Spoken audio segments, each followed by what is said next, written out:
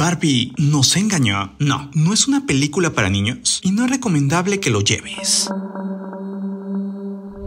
En las redes sociales se ha hecho una fuerte acusación y es que muchas personas han asegurado que Barbie los ha engañado y que la película no era para niños y aún así se presentó como una película para toda la familia. Y es que quien ha visto la película, sin dar spoilers por cierto, la divide en tres partes. La primera parte es para todos. Los niños podrían divertirse. La segunda ya se vuelve más compleja. Y la tercera se vuelve tal cual una crítica social. Ahora bien, Barbie tiene varios chistes para adultos. Maneja términos tan complejos, incluso ocupando cierto tipo de palabras que para algunas personas personas podrían ser difíciles de entender. Es por eso que padres que han ido con sus hijos han reportado que si son muy pequeños, niños de entre 3, 4, 5 hasta 6, 7 años, la primera parte la soporten, pero después se aburren, se duermen o simplemente ya se quieren ir. Niños un poco mayores, de 8, 9, 10, 11 años, intentan entender lo que trata la película, pero también hay que explicarles mucho. La clasificación de la cinta es PG-13, es decir, no recomendable para menores de 13 años. Ahora bien, ¿por qué la película de Barbie según algunos, no es para niños. No, no es por los chistes para adultos, algunos de los cuales ni siquiera están tan escondidos. Pero si los niños son muy pequeños, no los van a entender. Tampoco porque haya violencia o personas sin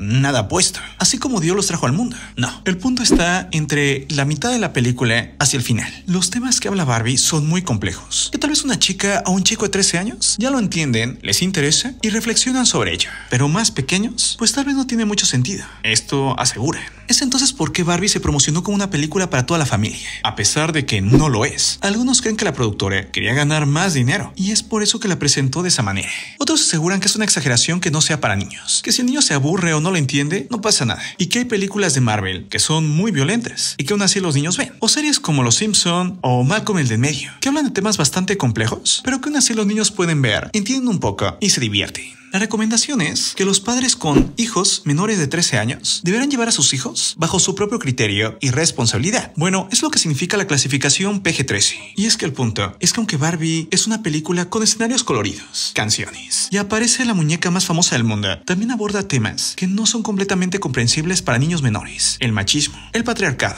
el feminismo, no querer ser madre, en fin. Es así que no te preocupes de que haya una escena que no puedan ver los niños. Y ni siquiera los chistes para adultos, que tampoco les van a entender tan fácilmente. Y aunque hay pelea, pero realmente comparado con las de Marvel, es chiste. Sino más bien es por el tema tan complejo. Incluso para muchos, la forma en que presentan a los hombres no les guste. Aunque bueno, hay muchas películas donde la forma en que presentan a las mujeres también es muy polémica. Y por último, lo que la película hace es una parodia y caricaturiza un mundo donde las mujeres mandan y los hombres no importa, y un mundo donde los hombres mandan y las mujeres no importan.